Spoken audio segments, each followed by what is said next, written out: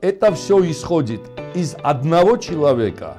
Вот возникает часто вопрос. Или это исходит от характера русского мира? Все из империи бежали, а Россия в империи осталась. Вот. И это было, получилось такое образование, которое, в общем, отравлялось собственными имперскими газами в течение 30 лет. Только молодых парней уже у нас погибло в одном вот Скинвале. Человек под 20 уже. Это, это очень много.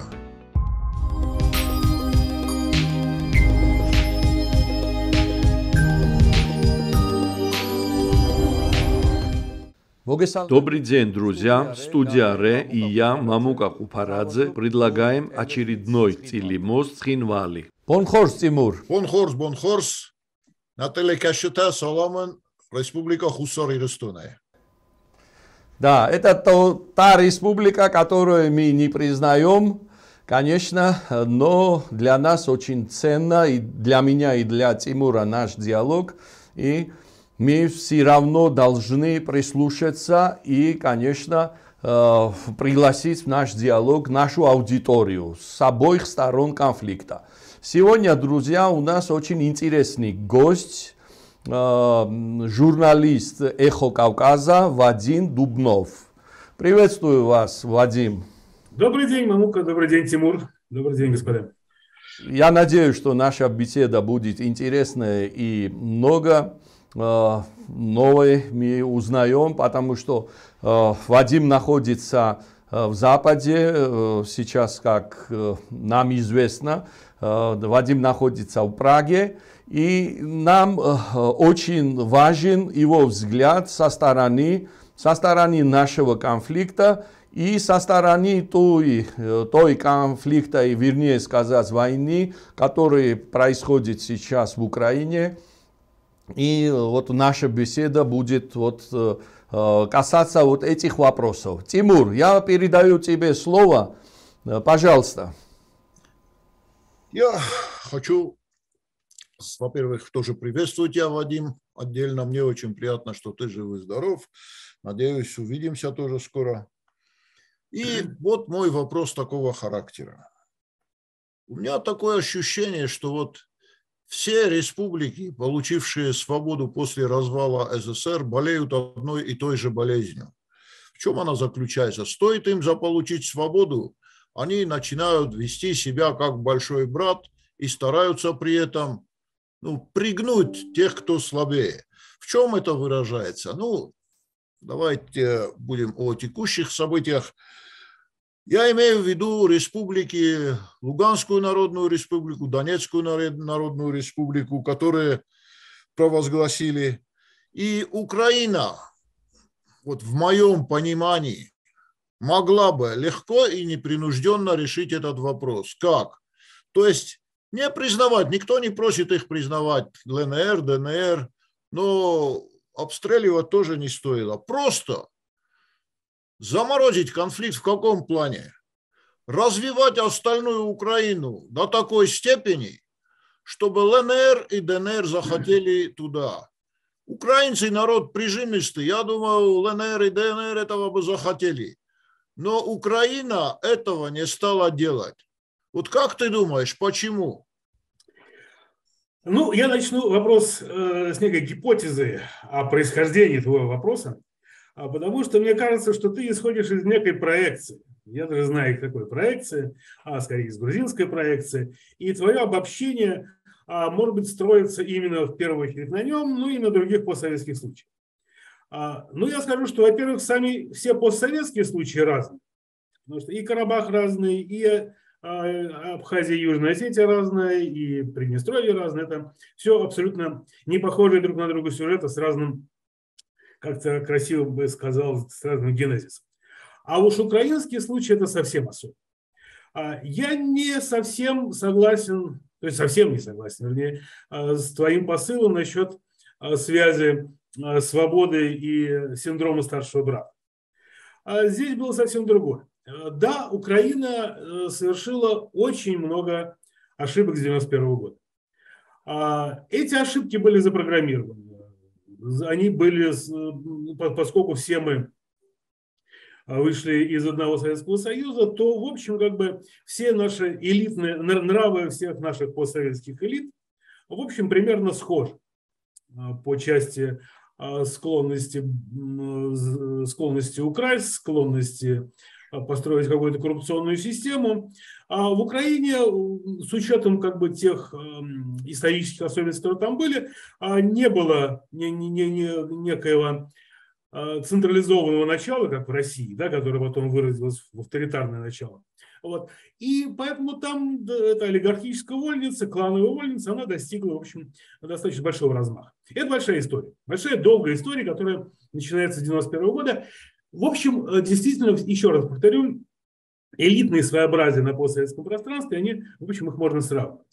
Но все, что мы можем говорить про ошибки Украины по этой части, а, все-таки это э, не имеет отношения к тому вопросу, который ты задал. А потому что, э, да, я скажу еще, очень важно, еще как бы важная вещь. Действительно, Украина очень мало сделала для некой внутренней интеграции. Для нее не было проблемы внутренней интеграции. А потому что действительно она а, не очень интегрировала Крым. А я скажу больше, еще в 2013 году, в 2014-2013 году, когда все было нормально, было трудно, ну, из Львова в Донецк я летел с пересадкой. Понимаешь, между двумя крупнейшими городами Украины не было прямого сообщения. Ни авиационного, ни железнодорожного. Действительно, это, это вот э, в этом смысле как бы Украина об этом не думала. И у этого есть совершенно, опять же, свои предпосылки. Они не связаны с э, русским или не русским вопросом, с русскоязычным, не русскоязычным. Это просто такое клановое устройство Украины, которое в вопросе Донецка, а, его было всем удобно представлять как э, некое а, ну, вот такое геополитическое свойство противостояния. Да? На самом деле нет. На самом деле очень много мифов, очень много, не, очень много неправды. Потому что я тебе скажу так, что а, а, когда самые простые такие э, вещи, думаю, мы как, как кавказцы это, это поймем. Когда а, играл Шахтер и Киевская Динамо, Донецк, безусловно, был за Шахтер. Но когда играл Спартак Динамо Киев, Донецк был за Киев. И это было без вариантов совершенно. А, и когда в 13-14, когда в начале, да, в начале 14 года еще, я последний раз был в Донецке еще, все, все, когда было еще тихо, ну, Донецкий университет – это очень украинский университет, там говорит по-украински. А там, э, там был один социолог, очень интересный э, молодой человек, он был яркий представитель русского мира. А, он рассказывал мне про то, как здесь, значит, как, э, как русскому миру должен принадлежать Донецк и Северо-Восточная Украина. И после всего этого, а он был, как бы, кроме того, что он был очень русскомерзкий, он при этом был честный ученый. Он э, с грустью доставал выкладки своих собственных исследований и говорил, ну, с другой стороны, конечно, все мои наши работы социологические, то, что я сказал, конечно, не подтверждает. И дальше мы выяснялось, что чем моложе, тем лучше знали украинский язык. Э, чем моложе, тем больше хотели в Европу. Абсолютно украинская статистика, абсолютно украинская социология. А, когда был Майдан, когда, когда был Майдан 13 года, Донецк отнесся к нему безо всякой симпатии, безо всякого понимания. Но не было никакого отторжения, не было ничего. А когда там выходили 15 человек в Донецке, сторонников Киевского Майдана, были такие, там было много людей таких.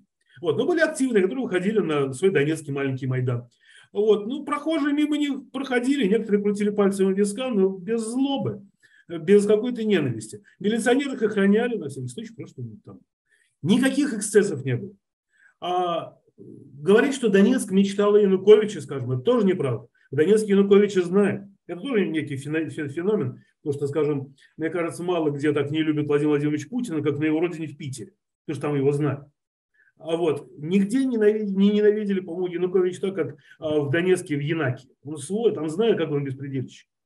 Вот. Поэтому не было никаких там не было никаких иллюзий. И более того, даже те, кто говорили, мечтали о том, чтобы э, как, каким-то образом Восточная Украина автономизировалась, они все равно не любили Януковича, потому что Янукович кинул их, потому что Янукович играл в украинские игры. Это были клановые украинские игры, которые не имели никакого отношения к тем мифам, которые нам всем рассказывали о том, что Восточная Украина мечтает прийти в Россию. Не мечтала и не думала она о России.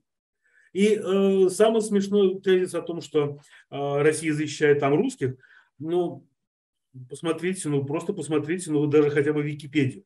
Ни в одном областном центре Восточной Украины русские не составляли никогда большинство. При том, что это очень сложно в демографическом плане регионы, никогда не было. А уж по областям так вообще говорить смешно. Вот. Это сложный регион, но ни в коем случае не российский и не мечтавший быть в России. И поэтому, когда ты говоришь о том, что они обстреливали, обстреливали Луганскую республику, а, ну давай не забывать, с чего все началось, да? когда господин Гиркин пришел и захватил Славянск. А, мы можем сейчас задать вопросы, как, почему у него так легко получилось.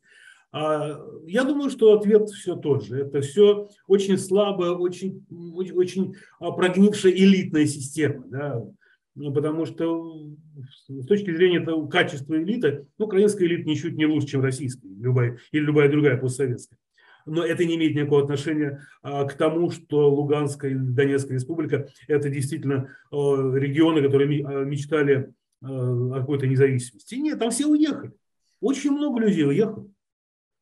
Донецк, то же самое Донецкий университет опустел. Там остались э, ну, меньше половины. Вот. Очень много, много молодежи. И все э, люди, которые, а, собственно говоря, понимали, что к чему они оттуда уехали. Это не Южная Осетия, не Абхазия. Это совсем другая история. А почему Украина обстреливала? Хороший вопрос. Потому что э, Украину образца 2014 года со своей армией, это, ну да, не в обиду Мамухе будет сказано, это э, грузинская армия образца начала 90-х. Ну, в каком-то смысле, да. Это не сформировавшееся государство еще тогда было, да, в этом смысле. А вот. И история поражений на Восточной Украине, уже тогда война шла. Ведь, и это очень важная вещь украинцы же правы, когда говорят, что, ребят, не 24 февраля началось началось все в 2014 году. Просто это в Москве, и в России, и больше нигде не понимали, понимали в Украине. А вот, да, поэтому эта война шла. И э, они ее вели так, как они ее умели, да, потому что э, боевики прятались в жилых кварталах, они очень легко захватывали города, они ушли из Славянска, легко его оставили и зашли в Донецк. Никто не мешал, потому что там уже некому было мешать. Вот. В общем, в какой-то степени они взяли в заложники тех, кто там был, в какой-то степени а, их поддержало оставшееся население, да, это правда. Вот. Но это очень сильно меньшинство это, от того, что, что было. Вот. И действительно превратили такие криминально военизированные формирования, но никак не республики. И поэтому э, ставить перед ними выбор о том, что вот вы, ребята, остаетесь там, либо будете жить как цветущие Запорожье, но это не совсем правильно, потому что, во-первых, какое, как могло свести Запорожье, если вы поставили Украину в условия войны, вот. а с другой стороны, кого вы собирались убеждать? Тех людей, которые а, там воевали? Тимур, ты очень зря их сравниваешь а, с теми людьми, которых ты знаешь под Схинвале. Спасибо, Вадим, спасибо. Извини Я... за, дол- за долгий ответ. Ну, это был такой. Второй вопрос тоже будет, наверное, такой э, философский. Мы, грузины, считаем, что все это началось, вот то, что сейчас происходит э, в Украине, оно началось у нас, э, в Грузии. Когда у нас в 2008 году разогрелась война, Конечно, в этой э, войне и мы тоже намного виноваты, но и со стороны России мы знаем и чувствуем, что оно было все провоцировано, вот этот конфликт и эта война, и надолго. Потом признался и Путин э, к этому, что они готовили, у них были схемы, э, военные схемы для этого дня. Э, мне вот э, интересно э, э, ваш, ваш взгляд на этот вопрос, что вот э, чему катилась Россия и сегодняшняя российская политика, э, что ведет такую агрессивную войну и не только против Украины, это против а, цивильного мира. Наверное, вы согласны с этим? И, по-моему, и наших коллег и друзей и в Абхазии, и Южной Осетии уже появились вот скептические отношения насчет политики России, я так думаю. Вот скажите, пожалуйста, это все исходит из одного человека? Вот возникает часто вопрос. Или это исходит от характера русского мира? Вот можно так считать, что если не Путин, все повернется к хорошему? Или, или проблема совсем другом? Я думаю, что здесь и то, и то. Я думаю, что есть очень сильная коллективная травма имперского свойства. Она очень известная, да. Такие травмы были в 30-м году в Германии. Такую травму мы наблюдали в Югославии в 90-х такая же имперская травма, которая толкнула а, сербов на войну, и сербы, в общем, ее приняли. Именно в силу этой травмы. А эта травма тлела с 91 -го года в России. Потому что все из империи бежали, а Россия в империи осталась. Вот. И это было, а, получилось такое образование, которое, в общем, отравлялось собственными имперскими газами в течение 30 лет. Можно ли было этого избежать? Да. А, и эту страна избегала до 2008 года. Э, была ли, был ли запрограммирован при всей этой травме 2008 год? Нет. А потому что, в общем, как бы были разного рода кризисы, были разного рода сложности, соблазны, имперские искушения, были и без этого. А вот, но с ними справлялись. А, была Чечня, в конце концов, да? А, абсолютно безумная Чечня, но а, Чечня, которую начал Ельцин и за которую извинился Ельцин. Это очень важно как бы, понимать. Э, вот эти оба, оба движения тогдашнего, тогдашнего, тогдашнего правителя. Вот. Э, то есть это говорит о том, что в принципе это не запрограммированная вещь. Что такое в, в этом смысле фактор Путина? И можно ли было бы э, а, а, обойтись без этого без Путина? Да, я думаю, что это во многом очень личностная вещь Путина. А, будь на месте Путина кто-то другой, э, очень возможно события развивались бы по-другому. Ну, скажем, там, э, то есть мы можем говорить, что если бы остался, скажем, Медведев да, в 2012 году, пошел ли бы он войной на Южную Осетию или Э, пошло ли бы он войну на Украину. А вот, может быть, сложились бы обстоятельства так, что взял бы и пошел. А, вот, а может быть и не пошел. Потому что система власти устроена так, что э, прогнозировать, программировать, а, логически анализировать или анализировать исключительно исходя из э, текущей исторической и политической логики невозможно. Вот в чем проблема. А здесь очень легко впасть в некий такой интеллектуальный снобизм, а, исходя из, исходить из того, что невозможно себе представить, что в голове у безумца. Да? А вот, но э, как в 2008 году Москва, цинично говоря, ничего не выиграла грузинской войны, так тем более непонятно, как можно было принять решение в 2022. Ну хорошо, можно объяснять каким-то образом, что что-то э, краткосрочно Москва приобрела от аннексии Крыма. Здесь можно, по крайней мере, искать какую-то логику, логическое объяснение. А вот. Тоже не очень убедительно, потому что ресурс а, этот был достаточно быстро растранжирован. А вот. Но те ошибки, которые были совершены в ДНР и ЛНР, а в Москве понимали, что это ошибки. Уже в 2014 году было понятно, что это не то, что они хотели. Вот как совершив эти ошибки в 2014 году, а, ошибки больше, чем преступления, да, вот, как можно было их повторить в 2022, это непонятно. И вот в этом проблема, потому что мы не можем вдумчиво, исходя из логики, а, объяснять кремлевские шаги. Вот, поэтому, да, поэтому травмы есть, предпосылки были риски того, что это случится, были, они усиливались, а, но были, была ли война неизбежна? Нет. У нас сейчас пытаются сломать столетний старый мост, и мой вопрос о мосте, о Крымском мосте. Крымский мост, который вот никто не отрицает, что взрыв на Крымском мосту был организован украинскими спецслужбами. Но кроме Украины, Украина не признает. Не признают? Нет. А, ну, странно. Ну, хорошо, не при... Я почему-то думал, что потому что Нет. везде пишут, что... То есть они говорят, что они не причастны. Они ничего не говорят. А, ничего не говорят. Ну, понятно. Вот у меня возникает такой вопрос. Вот кто бы не организовывал этот рейс, ну, я тоже думаю, что все-таки украинские спецслужбы это организовали.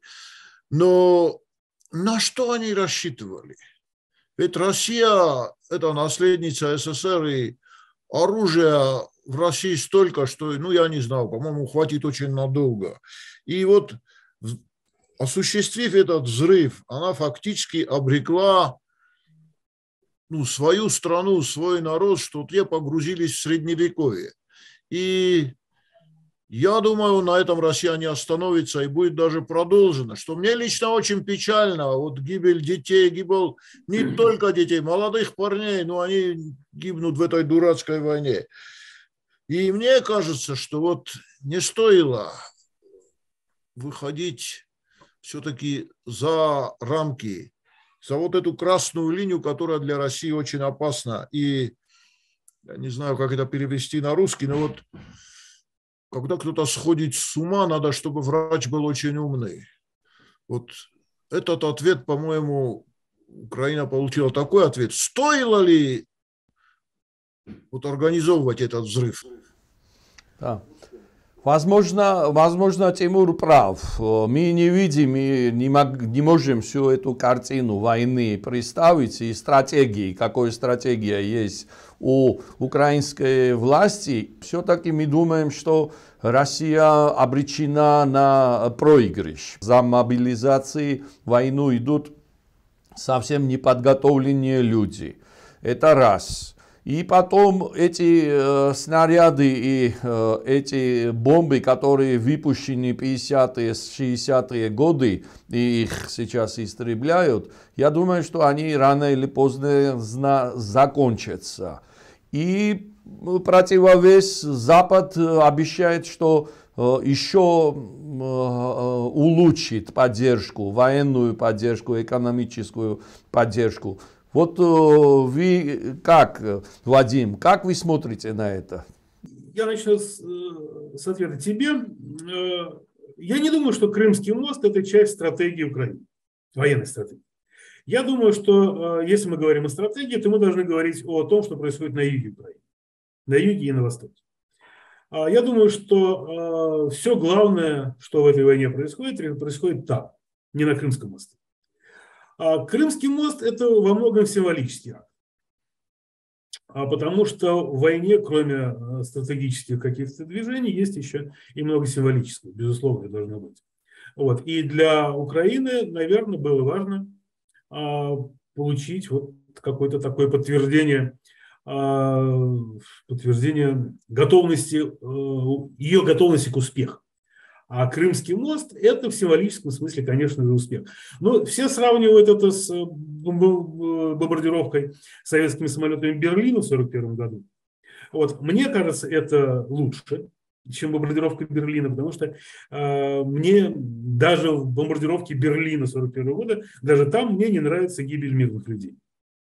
Кем бы эти люди в Берлине ни были, вот, мне это все равно не нравится. Мне не нравится удар э, армян два года назад, которые находились в отчаянном положении. А, я понимаю. Ганджу бомбили. Но мне не нравится, что они ударили по Ганже и Барте. И это тоже не нравится. Это, это неправильно. Нельзя. А в этом смысле украинцы как будто бы учли уроки 2014 года. Они бьют по инфраструктуре. А, причем они бьют не по гражданам, пытаются бить не по гражданскому инфраструктуре. Хотя, конечно, это война, и по гражданскому инфраструктуре тоже все попадает. И говорить, что украинцы не бьют по гражданской инфраструктуре, тоже неправда. Ну, будем, будем, будем честны. Они тоже, тоже делают все то же самое. Это война.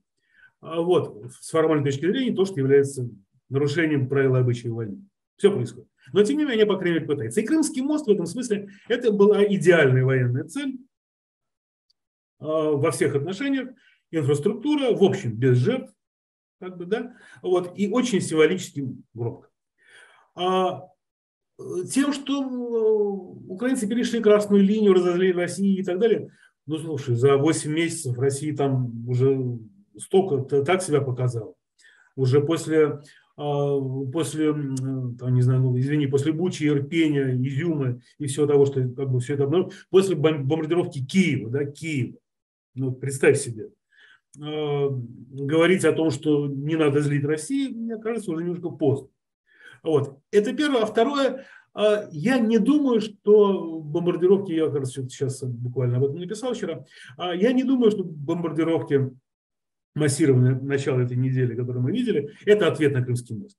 Крымский мост, я думаю, был только поводом, потому что у Москвы сейчас, э, поскольку у нее не получается контрнаступление на юге, поскольку у нее, в общем, я не, не, не очень силен в стратегических вещах, да, я не военный специалист, но, похоже, у нее большие проблемы в Херсоне.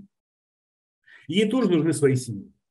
А только российские символы, они основаны на том, что нужно а, утолить ненависть веренного населения.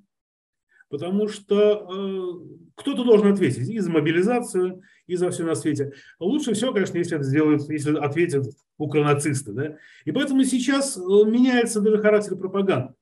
А потому что раньше мы воевали с НАТО, раньше мы били по наемникам, раньше мы били за новый мировой порядок. Это стихло. Я смотрел всю неделю федеральные каналы. Федеральные каналы полнились одной идеей. А, мирного населения никакого на Украине чем быстрее мы разбомбим их инфраструктуры, чем быстрее мы оставим их без света, воды и всего, тем быстрее они сдадутся, и тем быстрее мы начнем их перевоспитывать. Понятно, что воюют не э, боевики. Понятно, что воюет в общем вся страна. Уже больше обманывать россиян не получается. Россияне же, они, а, но россияне к этому были готовы. Поскольку украинцы были, что называется, расчеловечены, то, в общем, россияне были в этом, к этому готовы. Нужно было только эту точку зрения легализовать. Да, мы уничтожаем украинцев. И именно это было сказано после Крымского моста. Вот, собственно, все. А поэтому я еще раз говорю, э, Крымский мост был поводом для легализации этой ненависти. Эта ненависть вполне технологична. А я сейчас как бы не из правозащитных соображений говорю, это очень технологичная вещь для, для российского руководства, потому что это э, закрывает э, и недовольство с мобилизацией, это закрывает и недовольство с ходом кампании, вот да, вот да, приходится вбивать в грунт весь этот народ. Вот, а это трудно. Да, вот это такая история. А что касается успехов или неуспехов России в войне э, в итоговом плане, мне трудно говорить. Потому что а, я думаю, что, ну, думаю, не надо, не, не стоит недооценивать э, оружейную промышленность, да. Вот, я думаю, что снарядов достаточно. Э, достаточно ли их на 5 на 10 лет войны, я не знаю. Мы не знаем, как будет работать промышленность через 2 года и через 3 года. А, черт его знает, как устроены, как, как устроены эти метаморфозы, как перенастраивается промышленность, как она приспосабливается. Вот. Мы до конца, я не ну, в как, как-то в 1941 году они перестроили да, свою промышленность, они стали делать а, в достаточном количестве то, а, чем они перешли в контрнаступления. Я не знаю, как все будет. А сейчас очевидные проблемы. А сейчас видно, что все идет не так, как они планируют. А причем идет совсем не так. Принципиально не так. Вот. И что а, атакующий наступательный вариант и всю эту доктрину надо менять. На что менять тоже непонятно, потому что непонятно, какие есть ресурсы. С ресурсами тоже проблема. Вот это все есть. А, означает ли это скорое или не скорое поражение и э, что мы под этим поражением можем понимать, не знаю, трудно пока сказать. Ситуация меняется, но пока вот э, я как математик скажу, бывший математик, ну скажу, производная для России отрицательная. Вадим, э, вот Запад, они сплоченные вот в этом конфликте, в этом войне, вот поддержке Украины. Вот как видно от вас? Э, я думаю, что э, э, он становится сплоченным. Я не скажу, что он сплочен. Но я думаю, что процесс меняется в пользу некого, некого сближения позиций. Потому что мы видим, что под воздействием разных факторов, в том числе и успех Украины, мы видим, что меняется позиция Германии. А мы имели удовольствие изучать таблицу голосования на Генассамблее ООН, вот, и мы видим там среди проголосовавших против России даже сербы. А, видим Венгрию, которая, в общем, как принимает позицию.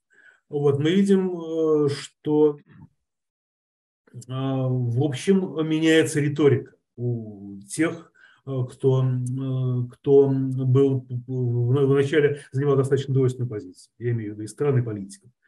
И э, пока я вижу, что проваливается энергетическое наступление Москвы потому что Москва делала очень большую ставку на холодную зиму и так далее. Но пока, в общем, ну, зима пока не настала, да, она будет, а, но пока, в общем, то, что мы видим, не работает тоже не на Москву.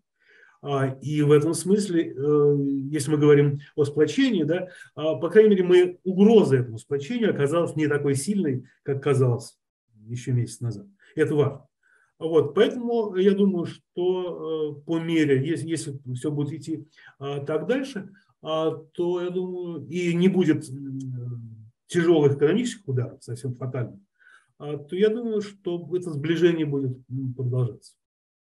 Тимур, возможно, что Россия мобилизацию спросит вот тех республик Абхазию, Южную Осетию, которых поддерживает. Вот какие настроения у вас, если потребует мобилизацию и пригласит войну? Вот как ответит народ Южной Осетии?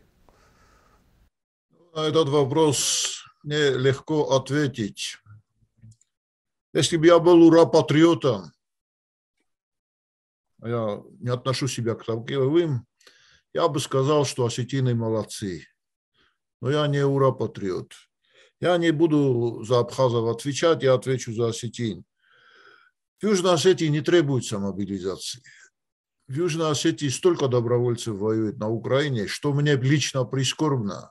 Мы теряем свою молодежь, теряем в братоубийственной войне двух ну, по-моему, не то что братских, одного, двух частей одного народа. И около тысячи осетин там воюет. И что прискорбно, с украинской стороны тоже воюют. То есть это как вот в далеком средневековье аланы воюют на обоих сторонах. Но теперь есть одна сторона этого вопроса, которую я считаю вполне справедливой.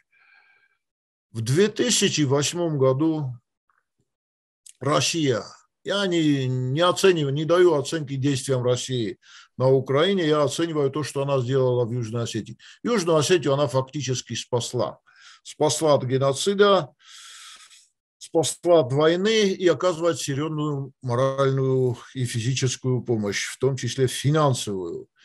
И югоосетинские парни – на стороне своего союзника. Хотя лично я считаю, вот лично мое мнение, что нечего нам делать на этой войне. Но они считают по-другому, тем более, что происходит героизация войны, что мне тоже не нравится. Если кто-то что-то может, то надо каким-то путем, я не знаю каким, остановить эту войну. А так сказать, генетически война в осетинах сетит, и их подзадоривают, и они идут на войну. Столько молодых парней уже у нас погибло в одном вот Схинвале. Человек под 20 уже. Это, это очень много. Вот мой ответ, да, нам, у нас не нужна мобилизация, и так хватает. У меня к Вадиму следующий вопрос. Вадим, вот э, э Илон Маск выступал некоторое время назад и предложил, чтобы надо остановить войну и сесть за переговоры. Также и Эрдоган тоже выступал э, и предлагает э, там косвенно или э, прямо чтобы надо сесть и обговорить э, э, и начать мирный процесс. Но с другой стороны, для Украины, когда вот только-только признал Россия, аннексировал, вернее, сказать, две области и две так называемые республики, вот по-вашему, это, это и правду предложение к миру и к мирному начатию к мирному процессу, или, или это на самом, с другой стороны издевательство, что вот ты аннексируешь и предлагаешь сесть за переговоры, которые вообще не, не представляют украинцы и украинское правительство. Вот как вы оценили бы это? Когда это исходит э, мы про Илона Маска или про Россию? Как? Мы про Илона Маска или про Россию? Я, я про всех, по всех трех сторонах. Это, это Илон Маск, ну это я как-то очень спокойно к этому отношусь, но а такое чудачество гения, вот, и я, в общем, как бы всерьез... Вроде бы собирается в политику прийти, вроде бы. Да, бывает всякое. Всякое видели бы. Вот. Нет, ну это просто чудачество. Здесь я как бы это не, не, не так. Как, как чудачество это интересно, как политическое заявление не думаю. А, вот. А что касается Москвы, я думаю, что это а, очень плохие артисты пытаются отработать хоть какой-то сценарий. Потому что, ну, в общем, э, конечно, не, настолько э, сложный сценарий, что уж не, не Валентине Матвиенко играть главную роль здесь, да, потому что, а, вот. А сценарий в том, что э, он, он понятен, он логичен. А Москва каким-то образом зондирует почву. Ей нужно сейчас идеально для нее, конечно, войну остановить. И для передышки, и для, ну, для всего, да, для подтягивания ресурсов, для а, фиксации, там, фиксации положения, да, как финансисты говорят, для ухода в кэш. А, вот. А вот ей нужно сейчас уйти в кэш каким-то образом. А, а уйти не получается, потому что украинцы на ходу. Вот.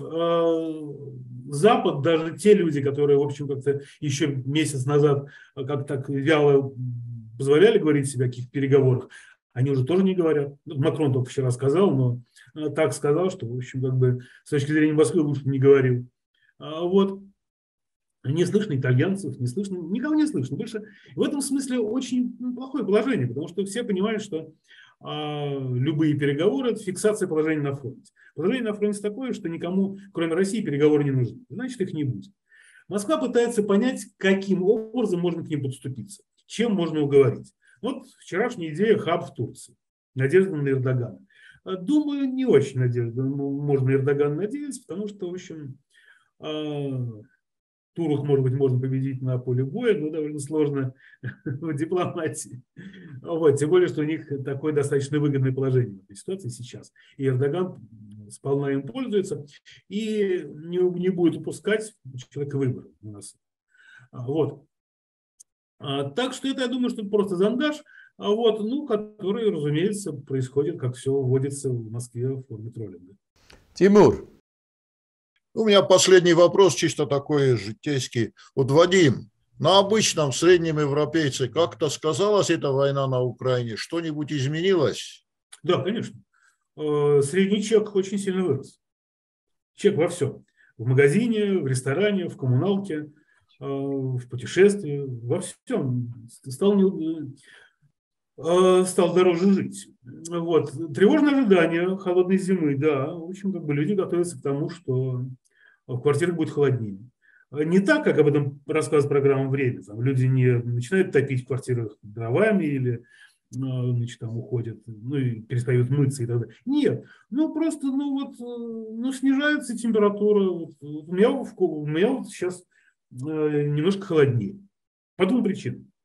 Во-первых, ну, как бы сама подача будет немножко, э, подача стала немножко уменьшится на градус 2. А во-вторых, ну, я сам буду регулировать температуру, потому что, в общем, как бы каждый градус мне будет стоить день. Вот. Не фатально. Я не, не, не уйду на улицу, нет. но какие-то неудобства в жизни, конечно, появятся. Свитер, может быть, придется одеть, это правда.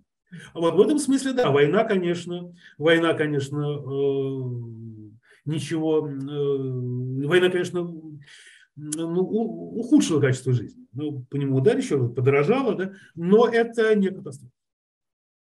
Понятно. У меня вопросов нет больше. Я хочу ага. тебя поблагодарить, Вадим. Спасибо тебе, Тимур. У меня еще остался один вопрос.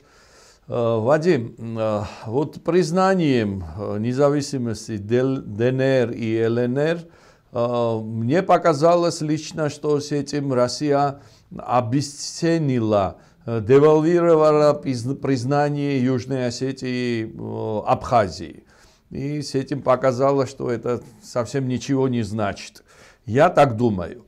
А вот вы, наблюдая на наш конфликт, вот на эту а, а, острую ситуацию, ге, острую геополитическую ситуацию, что бы вы нам посоветовали? Ну, мне трудно советовать. Ну, 2000, мне в 2008 году казалось, что признание Абхазии и Южной Осетии для Москвы это, в общем, не, в какой-то степени вынужденный шаг.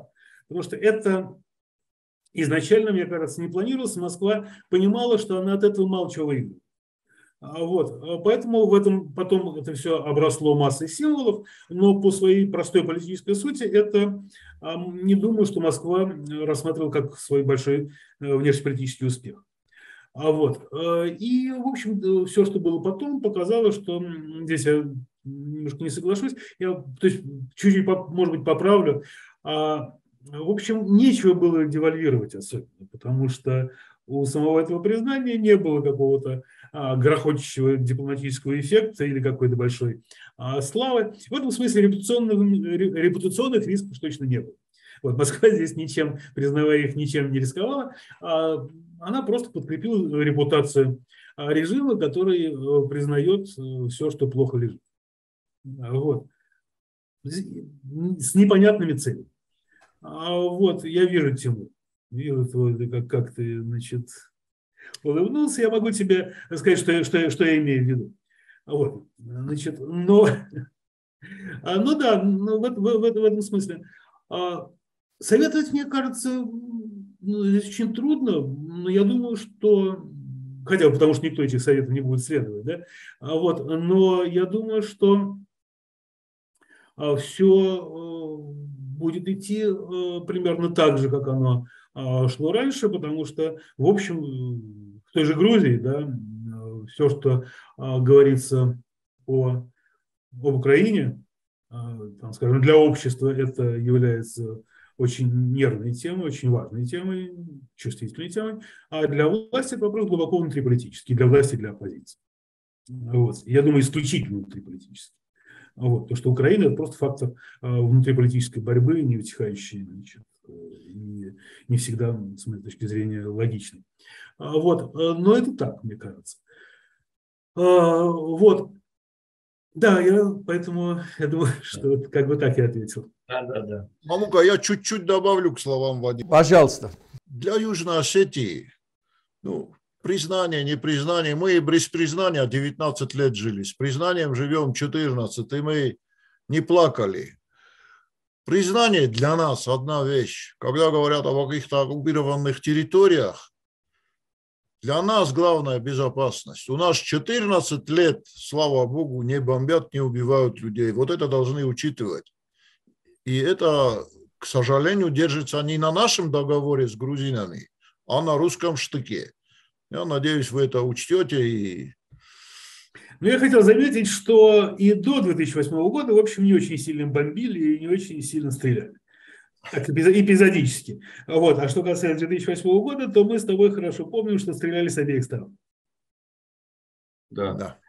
Я все-таки согласен с тобой, Тимур, и правду нам надо всем извлечь уроки, и мы, грузины, должны стать гарантами вашим, вашей безопасности и свободы, свободы, я говорю, в личной жизни и достойной жизни – свободы, и э, мы э, должны через это урегулировать наш конфликт.